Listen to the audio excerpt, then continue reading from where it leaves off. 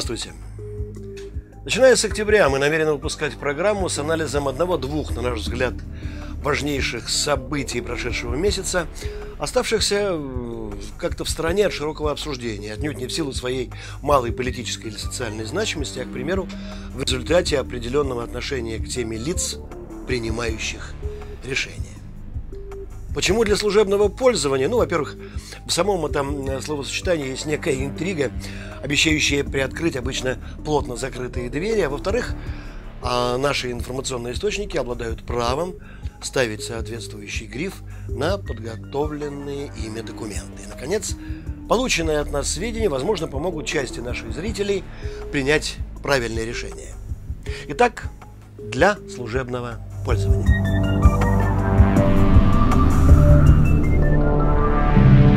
Новость не первой свежести, но заслуживает того, чтобы к ней вернуться. Еще летом президент США Барак Обама направил на утверждение Конгресса кандидатуру Майкла Макфола на должность нового американского посла в Российской Федерации. Сегодня на нашей территории осталось совсем немного граждан, которые в ответ на это известие пожмут плечами и произнесут «Ну а нам-то что с того? Мы в посольство чаи гонять не ходим. Вот тут недавно Онищенко заявил, что водка по 300 рублей за пол-литра будет. Вот это душу бередит. А вы про какого-то посла. Не будем брать на себя смелости и заявлять о том, что политика России, как внутренняя, так и внешняя, во многом следует рекомендациям Госдепартамента Соединенных Штатов, транслируемым именно через послов. Об этом есть кому заявить и без нас. Но попробуем напомнить аудитории некоторые события новейшей истории России в контексте ротации диппредставителей Соединенных Штатов Америки. Роберт Страус начинал как агент ФБР в качестве американского посла, отслеживал приход к власти Бориса Ельцина и его команды. В 1992 году был отозван, проработав в Москве лишь год, хотя, как правило, посланники задерживаются года на 3-4. Томас Пикеринг Работал в России в самый сложный политический период 1993-1996 годы. Если кто подзабыл октябрь 1993 и расстрел парламента с трансляцией событий через многокамерную систему канала CNN, а также сложные выборы президента Ельцина в 1996 году, когда рейтинг Бориса Николаевича зашкаливал аж за 2%, напоминаем об этом. После победных выборов в России – Посол был отозван в связи с переходом на другую работу. Кстати, Пейкеринг был представителем Соединенных Штатов и Организации Объединенных Наций во время войны в Персидском заливе. Но это другая работа. Александр Вершбоу, Джон Байерли, они были свидетелями многих событий, сформировавших Россию такой, какая она сегодня есть. А может, и не только свидетелями. И вот на дипломатическом горизонте маячит новая фигура – как раз накануне больших выборов в Государственную Думу и в главный кабинет Кремля. Грядут горячие денечки для американского депкорпуса. Для Майкла Макфола это дипломатический дебют. До этого он был замечен на видных ролях в Институте прогрессивной политики при Совете руководства Демократической партии США, той самой партии, находящейся сейчас у власти, той самой Демпартии, член которой вице-президент США Джон Байден не советовал Путину возвращаться в президентское кресло. Отметьте эту деталь. С приходом в Белый дом Барака Обамы Макфол становится специальным помощником, старшим директором по России Совета национальной безопасности США. Созданный на основании закона о национальной безопасности в 1947 году СНБ, высший консультативный орган при президенте Соединенных Штатов. Его главная задача, согласно этому закону, согласование внутренней и внешней военной политики по вопросам национальной безопасности с тем, чтобы обеспечить более эффективное сотрудничество военных служб в вопросах, относящихся к сфере национальной безопасности. Вот такая вот формулировка. Основной состав аппарата СНБ, кадровые сотрудники Минобороны и Центрального разведывательного управления, немного разбавленные дипломатами. Не вдаваясь в экспертные оценки сути одной из главных военно-политических структур Соединенных Штатов, хочу напомнить несколько директив Совета, изданных в разные годы. Вот, к примеру, директива Совета национальной безопасности СНБ-68 от 30.09.19 1950 года. Цитирую. «Сеять семена разрушения внутри советской системы, чтобы заставить Кремль изменить его политику. Нам нужно вести открытую психологическую войну с целью вызвать массовое предательство Советам и разрушить замыслы Кремля в других отношениях. Усилить позитивные своевременные меры и операции тайными средствами в области экономической, политической и психологической войны. Вот еще один документ, уже от 10 апреля 1951 года. Психологическое наступление против СССР, цели и задачи, так он называется. Цитата. «Заверить русский народ, что свободный мир не вынашивает никаких замыслов ни против них, ни против их страны, а лишь добивается для них свободы и процветания в дружественном и сотрудничающем мире. То есть того, что мы сейчас имеем. Впрочем, некоторые политологи современной России утверждают, а, что приведенные выше документы – фальшивка, выдумка советских писателей, состоявших на довольствии в Комитете государственной безопасности. На чем довольствии состоят нынешние политологи, можно только догадываться. Ну а теперь несколько штрихов к портрету Майкла Макфула, который, возможно, помогут приоткрыть завесу над целью назначения его послом в Российскую Федерацию. Так сказать, заглянуть под гриф ДСП. В 2004 году господин Макфол отстаивал право Соединенных Штатов содействовать оранжевой революции на Украине. Если учесть, что это содействие привело к смене властного режима, то можно говорить о вмешательстве во внутренние дела суверенного европейского государства. Похоже, директивы Совета национальной безопасности 60-летней давности не утратили своей актуальности. А почему бы и нет? Если в США Конституция действует с 1787 года и насчитывает всего несколько поправок, то чем хуже инструкция СНБ? Тоже на века. Ах да, это все происки советских писателей. Простите, забыли. В минувшем году Майкл Макфол на Ярославском политическом форуме призвал Россию к соблюдению демократических прав и свобод и усилению политической конкуренции. Ну, понятно, что за этими благими пожеланиями кроется отнюдь не обеспокоенность состоянием народовластных институтов в стране, которая предназначена для расчленения и урезания примерно втрое. Это из планов госпожи Мадлен Олбрайт, тоже входившей в свое время в Совет национальной безопасности. Цели наверняка иные, о которых мы не должны догадываться, но ведь суемся куда не велено. Таша Олбрайт в бытность госсекретарем США не побоялась заявить, раз Сибирь принадлежит одной стране, ни о какой высшей справедливости говорить не приходится. Вам напомнить инструкцию СНБ? Простите за назойливость цитирую, заверить русский народ, что свободный мир не вынашивает никаких замыслов ни против них, ни против их страны, а лишь добивается для них свободы и процветания в дружественном и сотрудничающем мире. Манят сибирские просторы покататься на оленях под песню «Колыбельды». Да нет, матушка, как говорил Гамлет в переводе Пастернака. Здесь магнит попритягательней. Нефть, газ и Арктика. Ну, о ней мы поговорим чуть позже, а пока о ближних углеводородах, которые не дают покоя кое-кому за океаном уже не одно столетие. И примером тому последние события в Ираке, Египте, Ливии. Кто там остался неохваченным демократией? Иран, Венесуэла и Россия надо добавить оранжевого цвета в их социально-политический спектр, и все в порядке. Иначе, вот цифры. Согласно выводам фондового рынка США и Международного энергетического агентства, 90 долларов за баррель – минимально комфортная цена на нефть для экономики США.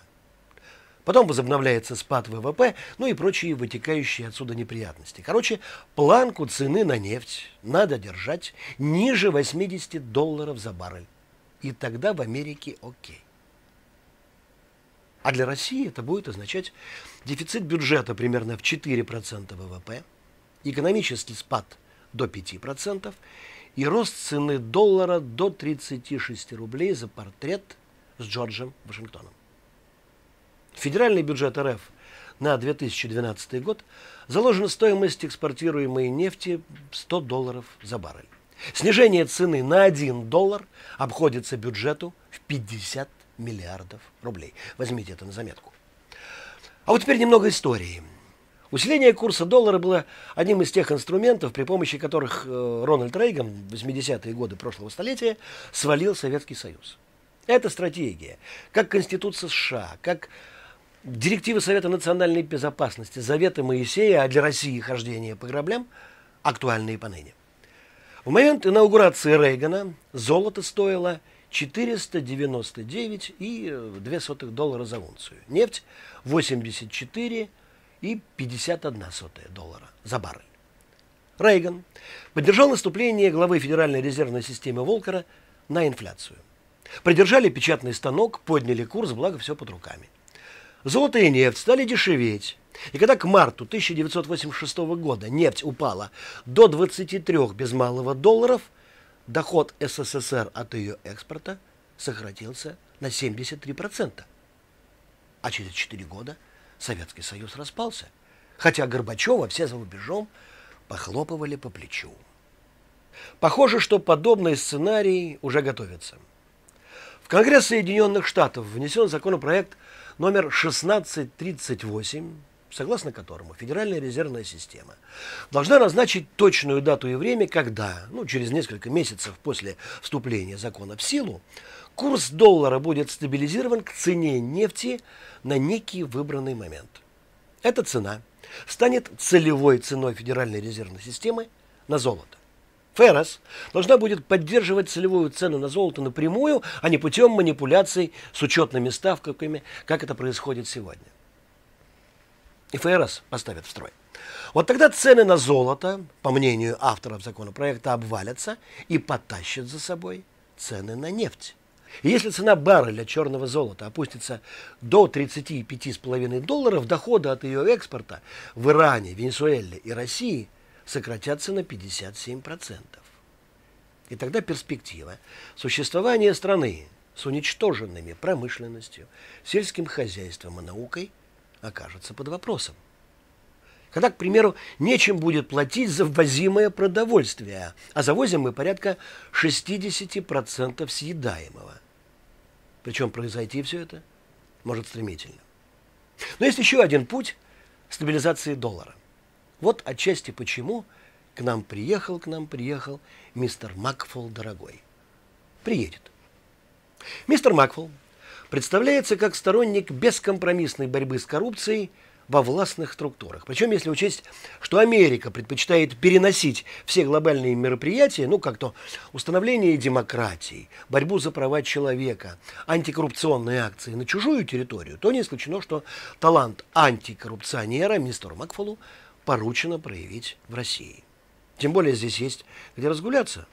К тому же не без пользы для Отечества. Я про американское Отечество господина Макфола. И вот здесь начинается самое интересное. Общие правила налогообложения в Штатах таковы. Если доход получен от предпринимательской деятельности на территории страны, то юридическое лицо, осуществлявшее эту деятельность, находится в налоговой юрисдикции США. То есть уплачивает налоги и сборы в размерах и в сроки согласно американскому законодательству. Однако в 2009 году в США были приняты поправки в налоговый кодекс, касающиеся определения налогового резидента США – United States Person. Теперь, если любая компания или физическое лицо осуществляют расчеты в долларах США, либо в расчетах принимал участие хотя бы один налоговый резидент Америки, эта компания или физлицо могут быть признаны судом налоговыми резидентами США и должны заплатить налоги по ставкам и внутренним правилам этой страны. Получается, что российский олигархат, ведущий операции по распродаже отечественного сырья за рубеж, ну, надо полагать, не без участия американских партнеров, ну, понятно, не в рублях и предпочитающие платить налоги в дешевых офшорах, оказывается перед дилеммой или переходить в расчетах на деревянные, или шагать в лапы американского правосудия. Послать американские налоговые органы на три буквы, ну, например, ДАМ или ВВП, не получится. Если не будешь платить, тебя возьмут на карандаш, подождут 2-3 года, пока накопится большая задолженность, и подадут в суд. Он направит повестку иностранному гражданину. А неявка в американский суд рассматривается как признание своей вины.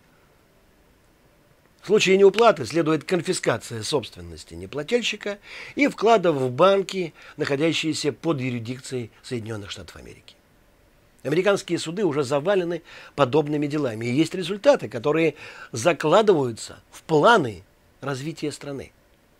Группа шести, так называется группа нескольких конгрессменов, выдвинула программу предотвращения технического дефолта США, которая предполагает, в частности, получение дополнительных доходов, похоже, от конфискации, в размере 1 триллиона долларов. Обама поддержал этот план. И тогда Майкл Макфол весьма кстати оказывается в нужном месте в нужное время. В одной из самых коррумпированных, по оценкам зарубежных экспертов стран мира, к тому же природно самый богатый, да еще накануне выборов там верховного властителя, окруженного субъектами, секрет финансовых успехов, которых будет интересно разгадать правосудию Соединенных Штатов, если уж наше не в силах. Америка сможет на вполне законных основаниях изымать вывезенные из России капиталы, с одной стороны, пополняя национальную казну, а с другой, оттачивая инструмент внешнего управления Россией. Ведь не секрет, что налоговым органам США придется, как говорил Остап Бендер, потрогать за вымя высший менеджмент Российской Федерации, превратив их в современных адаматов. Вот так в XIX веке на Кавказе называли вывезенных заложников, спокойно проживавших на территории противостоящей страны в мирное время и репрессируемых в случае военного конфликта. Наличие доматов может облегчить штатам, например, задачу сокращения тактического ядерного вооружения Российской Федерации. Но есть и другая версия.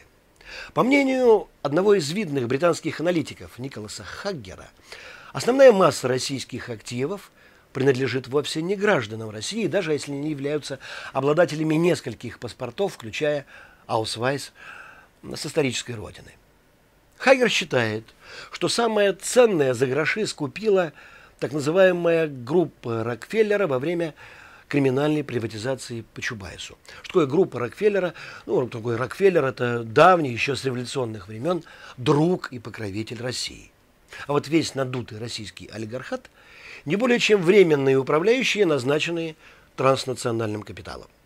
Коли так, налоговые службы Соединенных Штатов будут шерстить своих, хотя трудно понять, где там свои, где чужие, особенно когда речь заходит о больших деньгах. И вот здесь пришло время поговорить об Арктике. На сегодня в Арктике выявлено более 20 крупных нефтегазовых месторождений. К 2013 году арктические страны должны предоставить Организации Объединенных Наций аргументированные претензии на подводный шельф. Но что бы там ни решило международное сообщество, в Америке уже готова директива Совета национальной безопасности номер 66, предупреждающая, что у США имеются широкие и фундаментальные интересы, связанные с национальной безопасностью в арктическом регионе. И они готовы отстаивать эти интересы как самостоятельно, так и во взаимодействии с другими государствами.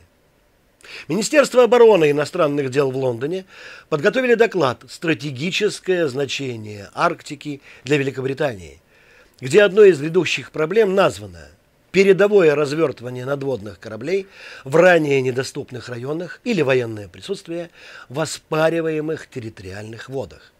В Рейкьявике состоялся семинар НАТО по перспективам безопасности на Крайнем Севере, где обсуждались вопросы обороны. Неудивительно, если ЦРУ или Ми-5 обнаружат во льдах и торосах замаскированные под чумы базы Аль-Каиды, а НАТО развернет масштабную операцию по спасению человечества от коварных оленеводов. Искали же в Ираке биологическое оружие, не нашли. Зато наткнулись на нефть. Вот такая вот приятная неожиданность.